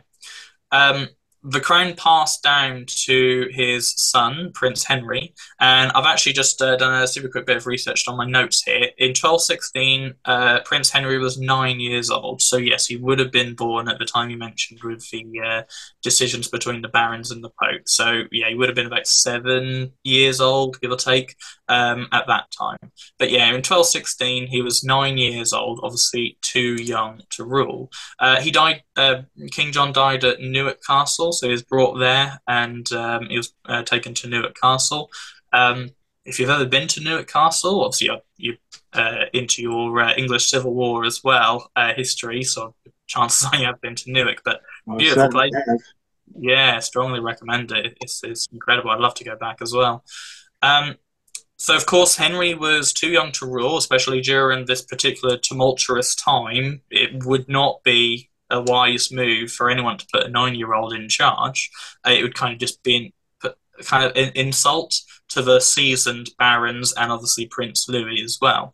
Um, so most of the power actually went to the new king's regent, William Marshall. Um, now he was a very well seasoned military commander. I won't touch upon him too much because I'm actually working on a video about him. Um, but I need to visit a fair few more places until I can actually do his do him justice. Um, cool. But again, if Mark has any information on uh, King, uh, sorry, on uh, William Marshall, we would like to share, I'm more than happy for him to take the reins on that one. But um, so there's obviously most definitely changed the tide because William Marshall, unlike King John, he was seen as one of the barons. He was seen as someone who could be trusted upon. He was a veteran. Um, he was a champion. He used to love his jousts and he used to um, not only take part in jousts but also host and organise them for different lords and barons across England. Um, he knew his stuff. He was well depended on and he was taken seriously, uh, unlike obviously King John had in many occasions. So William Marshall managed to largely patch things up with the barons during this time, and many barons actually switched their loyalty from Prince Louis to Henry. They had seen Louis and they're really kind of banking on him swiftly taking over um, Dover, and then subsequently other castles would fall to the French's reign as well. And then they basically be in the position where they could just divvy up the responsibilities and the land between the rebellion, uh, rebellious barons, and that would pretty much be the war over once the you know uh, King John lost his footing. Um, but seeing that Dover Castle had prevailed uh, against Prince Louis's forces, and this was quite early on into the um, uh, into the French's invasion. Um, see a lot of barons were thinking, "Oh, hang on, then we made a massive, a big mess up here." Um, so it was at that point when, as I say, King John died and William Marshall was put um, uh, in charge as kind of like Lord Protector of, um, uh, and obviously advisor of uh, King Henry. Um, by early 1217, Louis was beginning to feel the pressure, um, so he tried gaining the public's favour by besieging castles and letting defendants leave with their horses and armour. However, under the alliance of Marshal and the barons, Louis's forces were being stretched to the point of breaking. So Louis kind of, it was kind of. Um, if you see if like celebrities nowadays where they have a really bad rep and then they try doing something which will gain the public's fail, uh, favor um, I'd love to say what's that name, Mr. Hancock, but I, I, again, I don't do modern politics. Um, for example, even in Norwich, um, there was a hospital called St Helens, and it still stands to this day. I think it's a retirement home now. But that was built in the 12th century, and a load of money was poured into it when King, uh, well, Prince Louis uh, came through and basically took control of Norwich. At this point, Norwich, like it's mainly been through history, was it was fairly, um, it was always royalist, but it was fairly submissive. It's just like I'll do whatever, just don't damage anything while you're here, and then we'll pick up the pieces when you eventually, you know, get kicked out. Um, Norwich always liked money and profit. Whatever gave them most money and profit, they'll do that. But they would never put their nose into anything really. It, it was it was seen as just they were on their own, just doing their own thing. Mm-hmm. Um, so as I say, so when he did come over uh, uh, to Norwich and claim ownership of the city and the castle and the cathedral, um, he didn't, you know, raise taxes in the area, steal from the coffers or anything like that. He built hospitals to try to gain people's favour. This did a certain amount, but it just it wasn't enough because, as I say, his his uh, forces were the point of being stretched to breaking point. Um, he just he was overstretched. That's that's the, the long short of it. Now, Louis decided to retreat to France again for reinforcements, and even while marching to the south coast of England towards the French ships, he was ambushed at Lewes, um, forcing him to lose even more men, which obviously did not make King Philip very happy. Um, and also, as well, damaged his chances of gaining the reinforcements and the extra injection of cash that he desperately needed to solidify his rule, his quaking rule of Britain. Um, so with uh, with this time, so during this time, the garrison at Dover had been repeated repeatedly attacking the French ships. Uh, while both while they were docked and while they were coming over the English Channel, uh, meaning that communication between Louis' army and uh, France had all effectively been broken at this point. Um, King Louis' army besieging Dover Castle had been destroyed by the English. Um, under the rule of I think it was Herbert, wasn't it? Um, again, just scrolling up to make sure I got my notes correctly. Um, yeah, Herbert de, de Burgh, Hubert de Burgh, sorry, and um, so obviously he was a well-seasoned soldier as well. And it was actually at this point that King Louis so Prince, I keep calling him King Louis. Uh, Prince Louis, he was he was quite ballsy. He he sent a letter to um, uh, to the defender, the the uh, military leader of Dover Castle, uh, De Burgh, uh, basically saying that you know I have your kids, I have your wife. You will give the castle over to me. You will give me the keys to the castle and open the gates to my men, uh, or he, they will die and you will die as well. And Herbert basically just replied saying, "No," and that was it. Just just a simple no. Yeah. That's not going to happen. I'm not going to. I'm not going to do that. I am loyal to William Marshall and obviously uh, King Henry. Um, so again, this you can see at this point how desperate Louis was. You know, he was building hospitals and you know letting people go free while sending private letters to English lords um, and defenders, uh, military masterminds, etc., saying, you know, I am going to torture and kill your loved ones and family. Whether he did actually have uh, the family, uh, uh, De Burgh's family, we don't know. I suspect not because obviously when you're defending a castle, it's very limited the information you can get in that castle. He would have been kind of in isolation, you know, with the Wi-Fi off, so to speak, not knowing what's going on out in the outside world. So again, it was very ballsy for De to basically say no and decline him because he must have known, I assume, that you know Louis was bluffing. Uh, he wasn't telling the truth. Um, so the siege diverted so much of Louis's men, uh, but William Marshall took the opportunity, seeing how strained they were at this point, uh, to besiege Louis's stronghold at Lincoln and London. Uh, effectively uprooting the last of the French's influence over England, because again, obviously, Lincoln was with Lincoln Cathedral as a major religious hub where a lot of bishops would congregate and discuss plans. And then simultaneously, London was a big military area, and obviously there were you know uh, effective politicians who could um, make rules, etc., and send certain letters um, across Britain and get certain things done. So, with besieging Lincoln and besieging um, London, uh, again, Prince Louis just it went from bad to worse for him. His influence over England was pretty much diminished uh, just over two short years of uh, his invasion, or even less than two years, really just one year. Um, then what summed up that as well? So it was the his defeat by sea. So things went from bad for worse for Louis. So uh, who inevitably he lost the siege of Dover for a second time. He retreated back to his ships as he did before in the hopes to flee back to France. But unfortunately, the English were already waiting for him.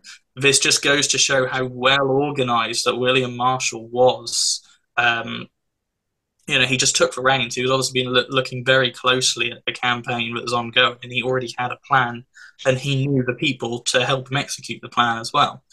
Um, so, under the leadership of Hubert, um, Hubert de Burgh, who was again defending uh, Dover at this time, um, so he successfully defended uh, Dover Castle in the first siege and uh, the second siege as well. And then the English defeated the French at sea. Um, with Louis's army just completely gone, it was just his campaign was in tatters at this point. Uh, he surrendered the remaining captured castles that he had, just because there was no point in defending anything at this point. He, he, he had gone, basically, he had failed.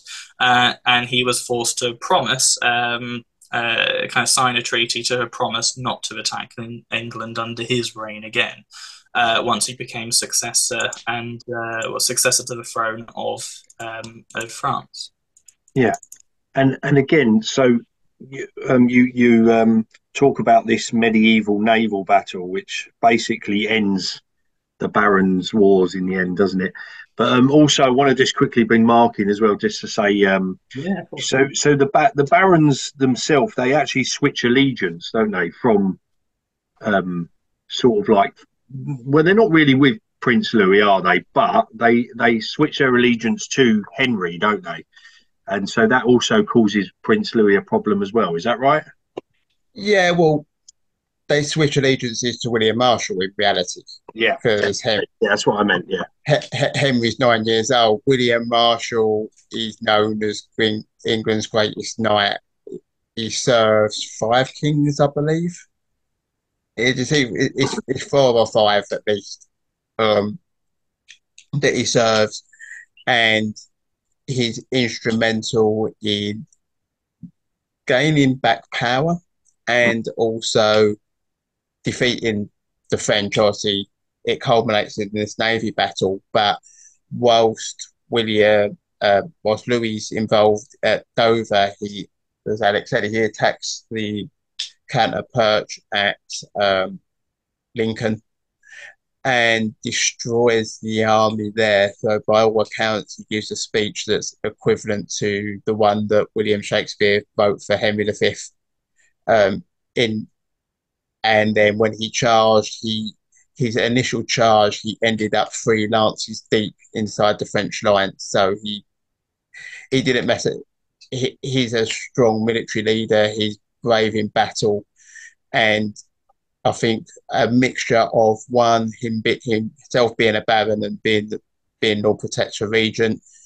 Also, he's just force of character. This is the person that has one of the mainstays behind the Plantagenet rule in England. So he he served Henry II at his side. He has a little bit of a flip during the Great War. Um, that one minute he, between Henry II and Henry the Young King. That might be where the fifth one comes from because he, he was crowned at that point. Um, is one of the he serves Richard. He serves. We we've seen that he was he was instrumental in the crowning of John over over Arthur. Um, he then becomes the regent, and so he's very instrumental in bringing the barons round. So, like you say, when when the barons are declaring for Henry over Louis, it's more that they're de- they're, they're declaring for William Marshall over over Henry to the most part, but also because they probably believe that although Louis was a better option than John,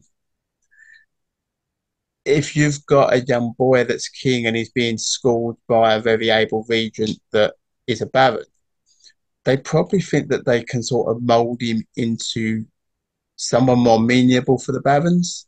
Mm-hmm. Come the come the come the point of maturity, and as we know from history, and we go on to the Second Barons' War, he's cut from the same cloth as his father more than anyone else. Um, he signed. He has another. He instigates another Barons' War because he regains again on the treaties of, Mag, of Magna Carta, which lead to him eventually signing the provisions of Oxford. Um, and so, and yet his greatest legacy is actually his, his son, who is Ed, uh, Prince Edward, who becomes Edward the First. So, yeah. in terms of actually his, he's not going to be a strong king. He's not got this. He's not got a force of character that sort of everyone would look at in the same way that when his king, king kingship is starting to fall apart, everyone sees this warrior son that he's got as sort of been the shining light and hope for the future. He wasn't that for John, and so when when John dies and sort of the barons start switching allegiances, it is more down to the the regent more than the king. Yeah, and I mean the country must have been an absolute mess because not only have you got a civil war going on, you've also been invaded by the French, and they're going around, uh, you know, sieging castles as well as King John doing the same thing. This country must, uh, during that period, must have been an absolute mess, wouldn't you say?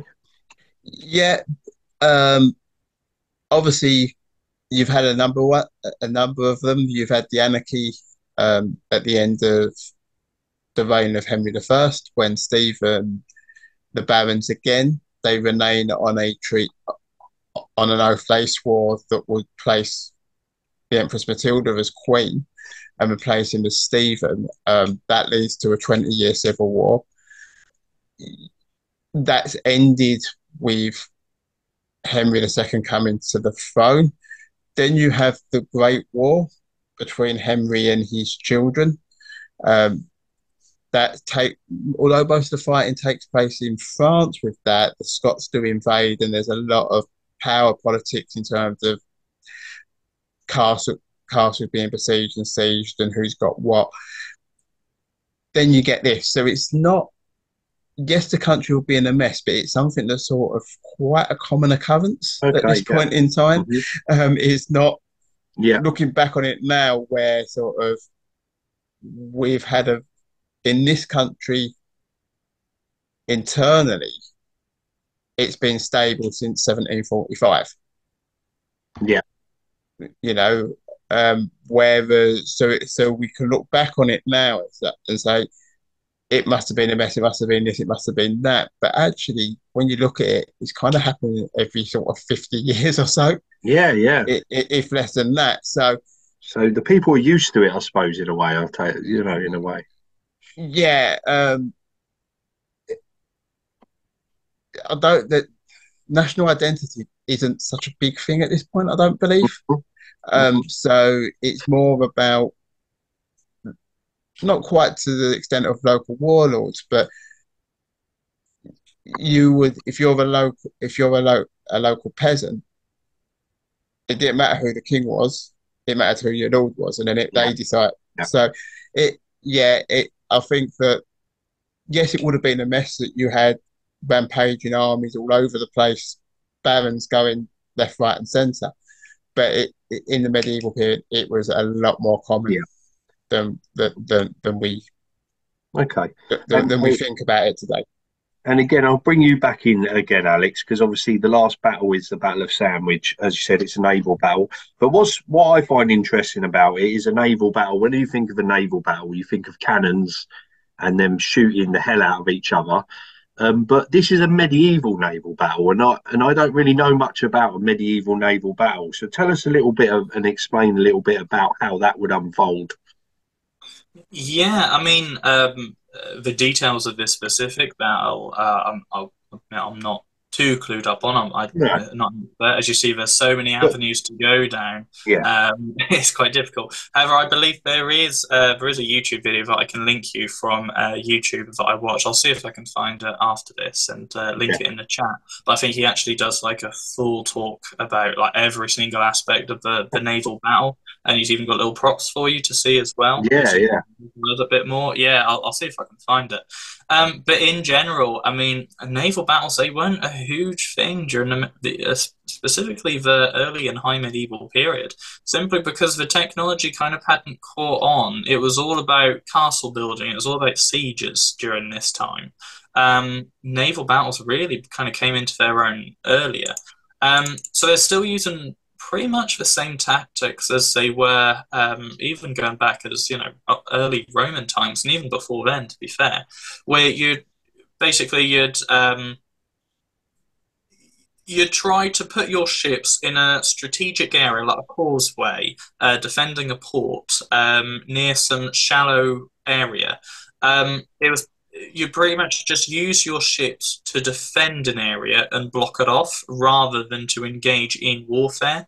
Um, for example, you've got during the Hundred Years' War where there was uh, a lot of places like Calais, for example, where um, ships were pretty much just anchors. They were just put as blockades just to stop any other ships from going in because you just throw some fire on whatever ship t- came too close to you and um, obviously just sink it and or cause a lot of damage. Now, with the battle of uh, the naval battle of Sandwich, what you've got is you've actually got knights, uh, well, usually just soldiers, men at arms, um, a lot of archers. You'd have a, a lot of archers and javelin, um, uh, javelin throwers, skirmishers, etc. Um, you'd even have uh, how are they called? Um, I can't remember the name now. Uh, rock throwers. What we what we call them? Slingers. Slingers. There you go. You'd even have slingers, even in the medieval period. You'd still have slingers because they were just useful. They were just like little snipers, you know, just taking out people, conquering them in the heads. Especially in a naval battle, where generally you got quite close to your uh, your opponent. They're kind of they would sail their ship. Uh, or row their ship, I should say, because to get that kind of accuracy, you can't rely on the wind. You'd need to basically row to get where you wanted to you would probably maybe ram into them, but usually you would uh, kind of park up and anchor side by side, and then you would put over the planks of uh, wood as the boarding uh, to board the enemy um, ship, and then you would just have a normal like you know a normal guerrilla warfare style battle, um, but just on these planks of uh, between two ships. It would have not been a nice environment. Um, you would have not ever wanted to fight a naval uh, battle just because it was so difficult. You needed armor to defend yourself. You needed to be strapped into these shields, etc. You need to uh, wield these swords and these spears, and you needed to have the helmets and all them. Obviously, at the time, quite male throughout my YouTube uh, and my Instagram, I'm always saying how armor is not as heavy as you think. Chainmail is heavy. Uh, you don't feel that it's quite heavy, but again, I, I wear full chainmail on my early medieval and high medieval um, reenactment kits, but uh, you don't really feel it. But you would do if you were plummeted in ice cold water wearing it. Yeah. Uh, because not only that, you've then got the woolen padding as well underneath that soaks up and that becomes a lot more heavy when it's exposed to water and when it's just it's basically like a sponge. It just so there's going to be a lot of people drowning then. Basically, if you fall out, you're you're done. Yeah, and not only that as well, you've got people falling on people as well. You're, yeah. you're slippery. People are going to try to climb back on the boat, so just going to create everything just so wet and. It, it sounds absolutely awful. I mean, uh, oh, again, I wouldn't want to be involved in a medieval battle on land, let alone sea. Now, I mean, crikey, no, you know. No, it, I'd much prefer one on land. To be fair, oh, and wow. even then as well, you've got. Um, mm. So, I have these. Um, uh, I have reenactment uh, historically accurate um, 11th to 13th century shoes, which you would have wore with the rest of your armor, etc. And there's no grip or anything. So they were made to go over like fields and cobblestones and stuff like that. They weren't made to go on wet planks of wood and wet floorboards. You'd just be slipping and sliding oh, all over. Yeah. So as soon as you got in the water, you're done for. You just got kind of got to kneel, um, or yeah. just take your shoes off and fight barefoot, pretty much, to give you a bit more grip. You're just, you're just being slipping and sliding all over the place. Um, people do talk a lot about having um, fire arrows. Fire arrows apparently very useful in naval warfare. Again, you try putting some tinder, uh, tinder or kindling on an arrowhead and fire it. Uh, it's not going to happen. It's going to extinguish as soon as you let that bow go. You don't, uh, sorry, that, that arrow go. You don't even need a particularly uh, high powered bow uh, for it to extinguish. Just the act of it alone um, that's just going to go out pretty much straight away. They used to have their um, they used to have specifically made uh, kind of caged arrow tips, where it's essentially like a little uh, cage of twisted raw iron metal as the arrowhead. So you weren't going to penetrate people. I mean, you could, but it's not going to do as much damage. It's going to be kind of blunt force impact. Well, what they were doing here, they were aiming it for the sails. They were aiming it to just get caught in like the castle, the wooden castle they used to have on the back of these ships. Um, but yeah, as I say, so fire would definitely be uh, a part. But the issue with fire is if you're parked uh, side by side uh, against an enemy ship, your rigging and your sails are going to be intertwined and all knotted up with theirs. If you set their ship on fire, chances are yours is going to be set on fire as well. So yeah. Yeah, fire seems like a great thing to do on you know in naval warfare, but it's kamikaze. Um, you are just endangering yourself just as much. I mean, you know, okay, you've sunk the ship. What's next? Your ship is now on fire and you're anchored down, and half of your men who used to actually sail the ship are now dead in the water. You know, it's, it's you've got to think about how you're getting out of the situation rather than just how to defeat the enemy. That's what, that's another thing to consider with naval warfare as well. So it used to usually just be you're two anchored up and you're just firing, uh, you know, you're just uh, unloading arrows um, into each other. And they didn't have like all the decks that you'd have. They had some decks, but they didn't have like all the, the loads of decks you could just hide out with at the time. And ships were a lot smaller during this time as well than the kind of Mary Rose style ships that you see during the later medieval period, Renaissance, or Tudors, etc. Um, so it would have been smaller scale usually, but even then, I do hear of massive numbers of ships. I mean, sometimes 80 ships I don't. It's it's impossible to visualize eighty flagships all in one small area, kind of just bustled up against each other, rammed into each other, entwined uh, the sails amongst each other, and people fighting. You know, just going from board to board, kind of thing. Um, that yeah, that would be quite difficult. Um, Yeah, it's horrible. Yeah, Not it- thinking about it. if we're looking at Sandwich though, you're looking at quite a major quite a major port at the time. So yeah, of course, yeah. you, you're probably looking as a not necessarily flagships or what would have been created as warships, but you probably would have just had the local boats going out with armored armed men on it and things like that just to boost the numbers, wouldn't you? Yeah, yeah, definitely. A lot of rowboats, definitely, because I say, I mean, you'd have the large ships basically acting as floating fortresses, and you'd just have loads of rowboats just kind of churning men over and over and over again because, you know, people can't fight for hours on end. You'd have maybe fight for 15 minutes, and then in a normal battlefield, you'd fight for 15 minutes. You'd then make your way to the back of the line, uh, where all the like the vassals were and the people who could have the servants. You'd have your water, you'd have some food, you'd take your helmet off, have a breather, have a little bit of a cool down, and then go back in the fray. You can't really do that in a ship. So they'd have rowboats on the opposite side of a ship, if possible, where you would then scale down into, maybe even go, you know, spend some time on land for a little bit, uh, cool down, and then in rotation, you'd just keep, you know, re-entering the fight, so to speak. Um, it, that takes a lot longer than walking to the end of the battlefield and taking your helmet off. So even then, the, the, the logistics of it all must have been almost Yeah, impossible. yeah. People Right. don't talk about logistics of anything, do they? But that's really cool. Thanks for giving us insight to that. And um, just quickly, while we finish up the actual um, the topic, and uh, Alex, in a minute, I'll I'll talk to you about your pages quickly, if you wouldn't mind. But Mark, can you just tell us where you can actually see um, Magna Carta? Because you can see it, can't you nowadays? Uh, the you can see original copies as well, I believe. Some Where- original copies still around, like it went into mass production Right. immediately afterwards. Yeah. So whether or not that one that was originally stamped by King John is still around, I don't I don't know for certain. Um, there were certainly contemporary copies about. Uh, I know that there's one at the British Library. hmm Um, and some cathedrals have them, but I'm not 100% I, I, sure. I, I was under the impression Salisbury Cathedral had a copy. Salisbury's got one. Yeah. Um, Uh, Lincoln's got, I don't know if this is the original page or it's a copy of the page, I Yeah. think. hmm Um, yeah, I've, I've seen that in the. Um, yeah, I, I, I've only seen the one at the British Library, so But and again, going back to its importance, um, from what I understand, the, the the American Constitution is actually, you know, drawn from parts of Magna Carta in a way, from what I understand. So it, it, it just proves how important this document is uh, through history.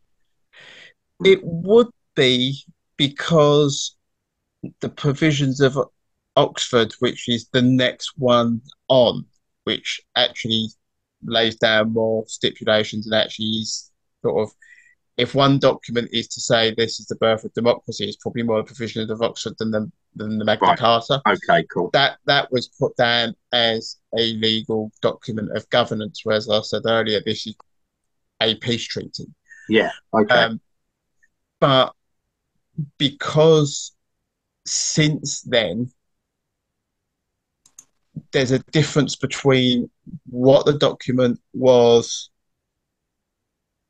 made to do when it was initially written to what people, historians looking back on it, have given it. Hmm to come 1780 1780s when the American Constitution was written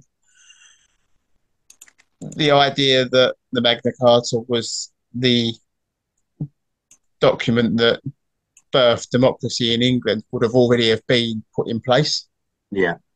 so Yeah. it would have lent certain aspects to it. So, yes, we need to weigh up that kind of thing. What was it? There's a difference between what was it at the time and what is it in history. And what it was in the time wasn't what we today see it as, but that doesn't diminish its importance to either. Okay, cool. Okay, um, Alex. Um, so let's talk about your pages, uh, mate, because you're doing an amazing job. You've got an Instagram page and a YouTube channel, haven't you? And you've both got, you know, they're doing really, really well. Um, you know, um, your videos are, are, fantastic. So, would you like to tell everyone a little bit about what you're about and what you actually do? Yeah, of course, of course. Thank you. Um, yeah, so obviously they're just passion projects. It's not my main job. Uh, my main job is actually going to be changing, and you should actually see that in the upcoming months uh, on my YouTube channel. Um, so basically, uh, I, I, use my social media for different things. I don't own uh, normal social media. I've never been interested in it. I deleted all my social media accounts when I was 16, the day I left school. Um, it's just not interested me, unfortunately. Um, but um, so they're all used for different things. I have three. I have the YouTube, I have the Instagram, and as of recently, I've actually um, taken the dive and uh, made a TikTok account as well. Okay, I'll come find you. Yeah.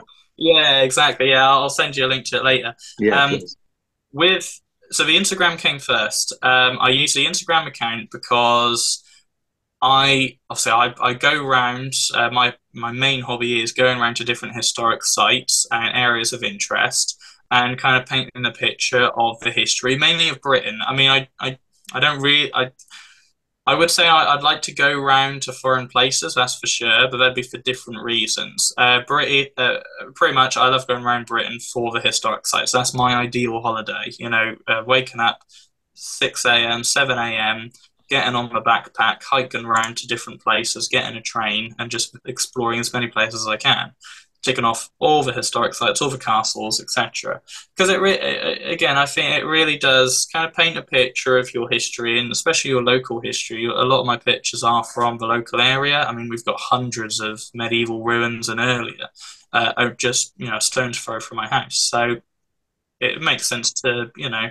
Um, go through them all and take pictures. You will notice there's a theme uh, on my Instagram account where I kind of like to take it from a little bit of a different pers- uh, perspective. Uh, I love all like gothic stuff and dark stuff as well. So you get so many Instagram accounts which are great in their own right, where they do literally just they just get the entire castle in frame, or they get an entire cathedral in frame, a church in frame, and just take a picture of it and post it. Fair enough with me, I like going around to all the different angles uh, to try to find like comes something a bit more magical, a bit more mystical about the site. Um, I edit uh, I edit all photos myself as well. It's not just a sepia. I, I do all other stuff in the background as well, just to you know kind of get the light and right to make it look quite dark and gothic. Um, it, it's just a different point of view. You know, it's just so you can see what I'm looking for when I go around all these ruins. Um, so I do two pictures of architecture, and every third picture is some reenactment kit that either I've done or a reenactor that I've uh, looked at, and also I give them a mention as well. Um, pictures are taken by myself and edited by myself, um, as you'll see in my bio on my Instagram account. And uh, yeah, I'll continue to do that as a little passion project. And then I've got my YouTube where I put by far the majority of my effort into um, where I like to take again from my travels.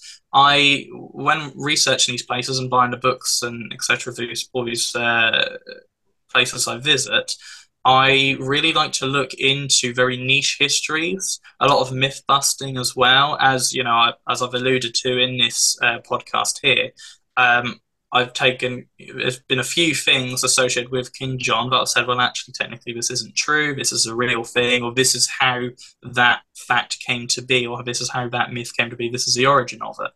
Um, that's pretty much what I do uh, with my YouTube. I do that, reenactment, talk about uh, military campaigns.